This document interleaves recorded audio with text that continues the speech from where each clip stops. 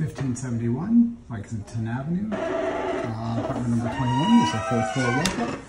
Went in here, we have kitchen cabinets here and a sink, cabinets up top. We have a stainless steel gas stove and fridge. The bathroom here, tenants just moved out, so they do have to clean. A brand new vanity in here, medicine cabinet. Uh, unit does have a bathtub. The large living room here, you can see this has a full-size couch in it, give you an idea of how big this living room is. Does get nice light, um, great light. It's a 4-4 walk-up. These windows look at the inside of the building here, into the second bedroom here. Second bedroom, easily fit a queen-size bed. There's no closet in this room.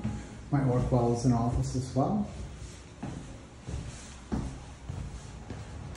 The bedroom here, it's definitely fit a queen size bed. Looks like they had a full in here. Gives you an idea of the space in here. Still space west. You can see Mount Sinai and Central Park way off there.